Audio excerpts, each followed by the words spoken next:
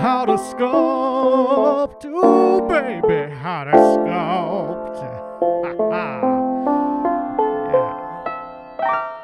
Hi, I'm Mr. Pink, uh, otherwise known as Modern Synthesist, and in this video we're going to be talking about how to sculpt tentacles. I sculpt them for Tyranids, but anything Chaos, Demon related, that kind of stuff, they, they all got a good use for tentacles. In most of my videos, I recommend combining yellow and blue Kneadatite epoxy putty with other putties, be it with uh, Milliput or with Epoxy Sculpt. This is going to be one of the only videos where I tell you to use pure green stuff, just yellow and blue. And that's because green stuff is less brittle than other putties, such as Epoxy Sculpt or Milliput. And when you're making a tentacle, which is something that uh, could stick off the side of a miniature and could be like the recipient of some stress, it's good to have those be a little flexible so that they don't necessarily break and snap off.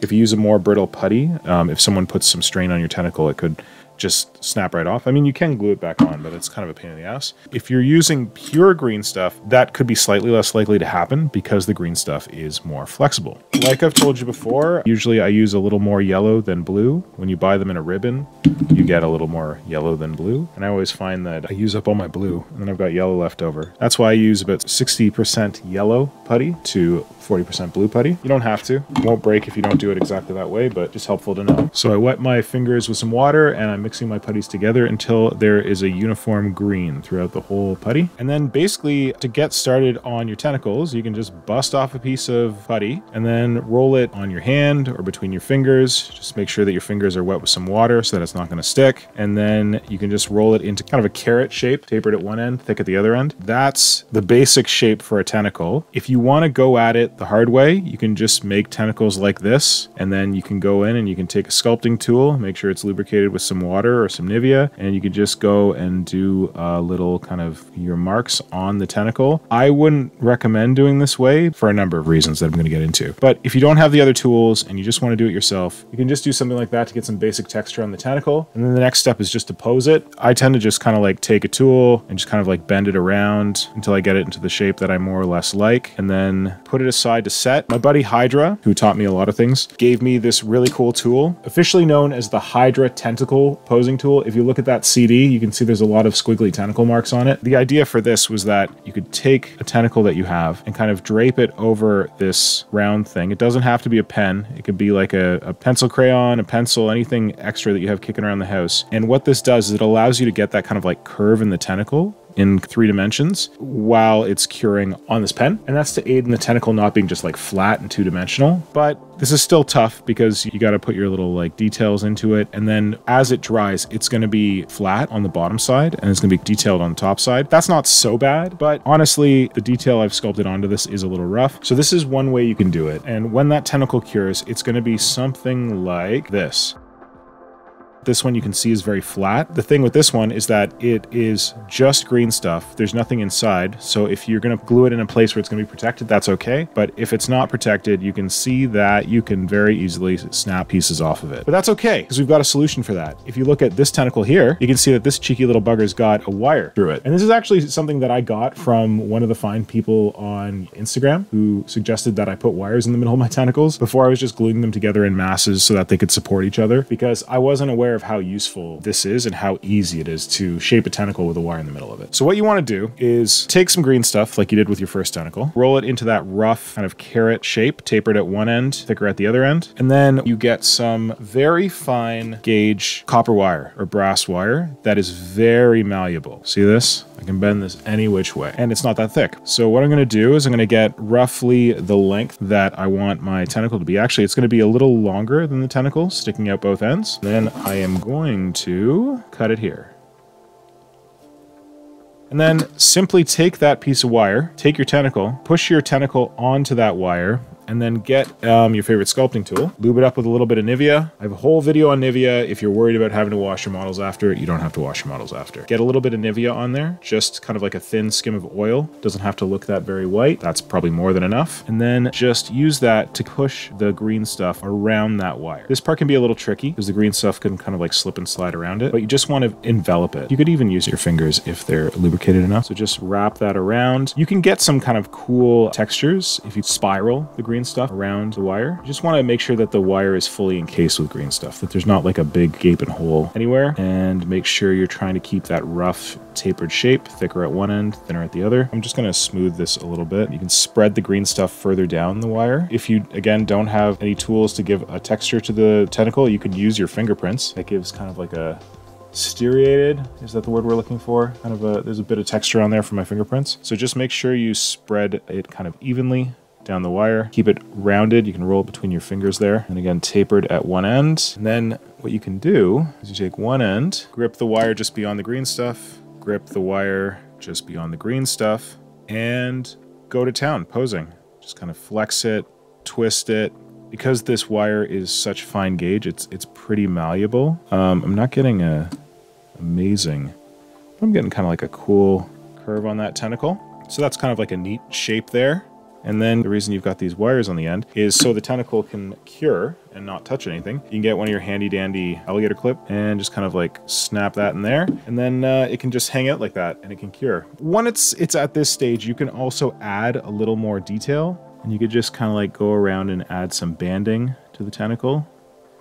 The only issue at this point is because you've just put green stuff directly onto a wire armature, if you push it around like this enough, it could shift around the armature and kind of mess up the shape. This is not the best way to do it, but if you don't have the tools I'm about to show you, it works. And because you got that wire sticking out the end, it's easy to hold on to. So you can see there's some texture on that tentacle now. It's not perfect, we could go in there with something like a knife tool and add texture or banding around it. Just gonna make sure you're keeping it the right way. Again, you risk pushing the putty off the wire, but it can be done. You can see it's got some detail. It's not going to win any awards, but uh, I'm not trying harder because I have a better system that I'm about to show you. Anyway, so we'll get that one out of here. We'll put it over with our previous attempt. But um, ideally, I would recommend that you use something like a tentacle maker. And what is a tentacle maker, you may ask? You could build a tentacle maker yourself. It's just it's just basically two textured plates that you you roll your tentacle between to get like lines cut into it. But fortunately, some folks have made them for us and made them a lot easier and better. So I'm just gonna make some tentacles here to demonstrate. So we're gonna make two small tentacles and one large tentacle. And again, the first step is to get your fine gauge wire that you're going to use for posing your tentacle. Get a little bit sticking out both ends and cut it to size. So again, you want your wire to be slightly longer than the tentacle at both ends. So next step, you take your green stuff and you wrap it around your wires. And for this one, you want the, the wire to be pretty straight. Forgot to mention that. It's most helpful to have it be as straight as possible, and you will see why in a second best way to do this is really just like spiral the green stuff around the uh, the wire and then just pat it down. That's two. What you're going to do at this stage is that you're going to not try and do that awkward thing where you sculpt the detail on. You're going to use a very helpful tool called a tentacle maker. So we got here three different tentacle makers. This one says SAW 050 on it. This one says Tentacle Maker Vex 040 on it. And this one says Tentacle Maker Saw 20 on it. And you can see that on the top plates, there's also Green Stuff Industries Saw 50. So that way you can tell which top plate matches which bottom plate, which is helpful because what you see here is that these plates have a texture on them. This one is like a sawtooth texture, hence why it's called saw. And 50 is the, the size of it. This one's Vex because if you look at it, it's more of a, a convex shape than a sawtooth shape there. The final one, the Saw 20, is same as the Saw 50, but way, way smaller. These three tentacle makers are from an awesome American company called Green Stuff Industries. It's run by a really nice guy named Rich. He does it for fun in his spare time. And he pretty much, he makes some other hobby supplies, but this is pretty much his game, making these tentacle makers. I buy my tentacle makers from Rich and not some other European-based company that you might have heard of because they have sketchy business practices. In fact, they may have ripped off their tentacle maker from someone else.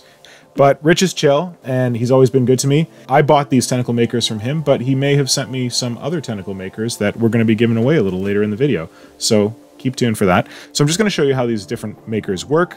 When you buy a set of tentacle makers from him, it comes with all three of these, the Saw 50, the Saw 20, and the Saw the Vex 40. And let's see how their patterns work. So uh, what you're going to do is you're going to take your tentacle. We'll start with the Saw 20. When you look at the tentacle makers, they've got an interesting shape. They've got this base plate that has uh, kind of like a, a bracket or an end piece here. And then it's got this top plate and the textured sides go together, texture to texture. And you'll see there's an angle here. Why is there an angle there? So that you can do this. What does that look like? One of our carrots.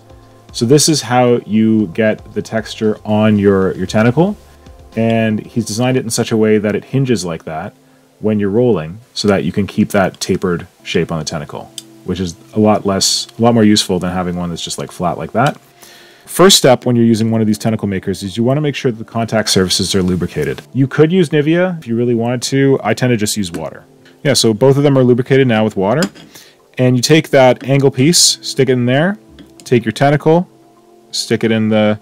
You don't even have to like run this down all the way, but you want to keep that angle when you're rolling the tentacle.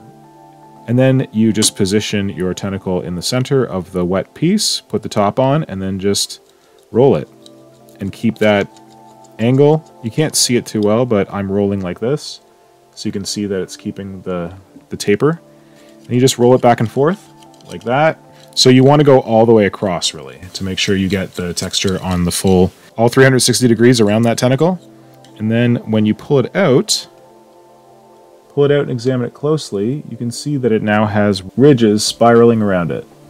This one doesn't look exactly perfect, I think, because I flattened it a bit, but it's it's pretty much there. So once you've got the texture rolled onto it, you do what we did before, which is you grab both ends with your pliers, and then you just pose it.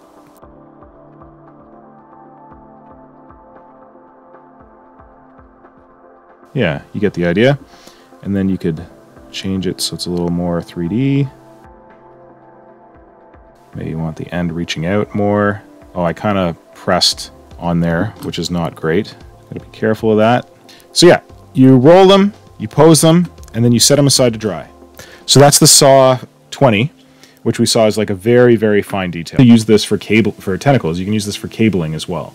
And that would work for like kind of electrical cabling. And when you're doing cabling, instead of, of course, doing the taper that you'd need on the tentacle, you can just roll it flat like this. Okay, so that's Saw 20. So next, let's try Vex 40. So again, I'm to wet both plates. Oh, I guess that's the other thing, that these are reversible. So if you were doing uh, cabling and you wanted it to be flat, not tapered, you just do it like that. And if you're you wanted to do tentacles, flip it around like that, and then you can do that, hinge it up to do that taper. So we're to stick our tentacle in there. And the cool thing, because these are clear, you can see where the tentacle is in between and where it's rolling around. The Vex 40 is the one that I tend to use for Tyranid tentacles. I feel like it looks most like what I expect to see on a, on a Tyranid like feeder tendril or something like that. Again, I'm rolling like this, keeping it tapered. So there we go. And we take this out of here. This one I find very pleasing for Tyranids, the Vex pattern more organic. Less, again, take your handy dandy pliers, stick them on either end, and just go to town.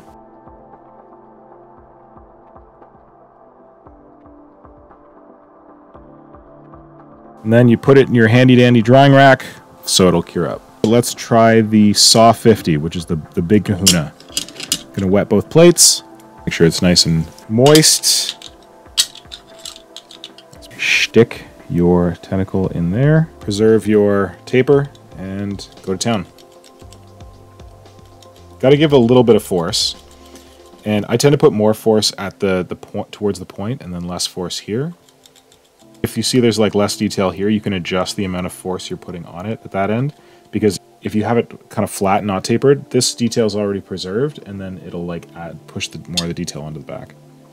And then take it out, and you can see that the valleys between are much deeper on the Saw 50. This is for like larger tentacles, larger cables, that kind of thing. Or if you just want your like smaller tentacles to have like more pronounced rings on them, then the Saw 50 is the thing for that. So then we'll take this, take this, and kind of push them together. It'll buckle. And you can do a little bit of like screwing up the surface if it gets you what you need, because you can always come back and like clean up a little bit of the detail later. Once you got it posed, you can put it in your handy dandy tentacle holder or you can just rest it on something carefully. What you do is you leave those and you let them cure. And then once they've cured, you can snip off the, the bits at the end. You can use like a little bit to kind of sculpt a little point on there. And then you can use the other end of it to anchor the tentacle into your model. Because you don't want to just like, I used to just like take the individual tentacles and just like glue them on. But it's much more secure when you have these wires in, especially because tentacles are something that are going to extend off your model. So having that holding it connected to your model and having the, the wire armature underneath makes them a lot more steady and less likely to snap off. But we did also make them with pure green stuff, so that makes them more flexible.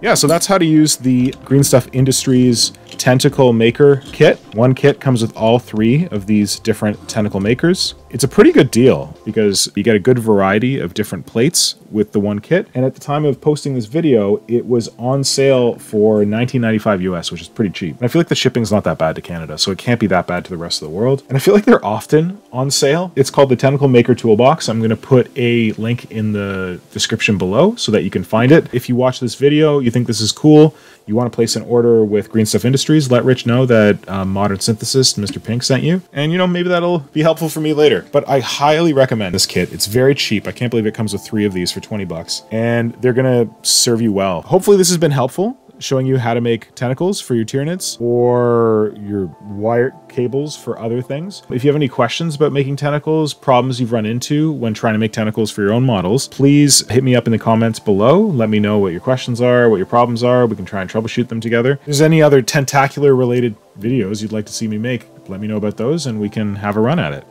And to get you started, we're going to have a little giveaway. So I have two more of these sets to give away generously donated by Rich over at Green Stuff Industries. Each one of these includes one Saw 50, one Saw 20, and one Vex 40 tentacle roller. So you get three different tentacle makers in this one kit. Two lucky people are going to be rolling, rolling, rolling tentacles with these awesome rollers from Green Stuff Industries. What I'm going to ask you to do is to let me know which existing model in any model range, any race, is most in need of tentacles. Doesn't have to be a Tyranid, doesn't have to be a Genestealer, it could be anything. This contest is going to be judged I'm going to send all the entries to my good buddy Hydra, who is a master of tentacles, and he's going to pick two winners from that list. Head on over to that Patreon post right now, leave a comment on it, or follow the instructions to send an email. Let me know what is the model that is most in need of tentacles, and there'll be full details on that post for when the uh, giveaway ends. Make sure you get your entries in, and two of you will be walking away with handy dandy tentacle maker sets from Green Stuff Industries. Or if you, you don't want to wait for the draw, you just want to go and get them right now, you can head on over the Green Stuff Industries website. I've linked it in the description below. Thanks for watching and happy sculpting.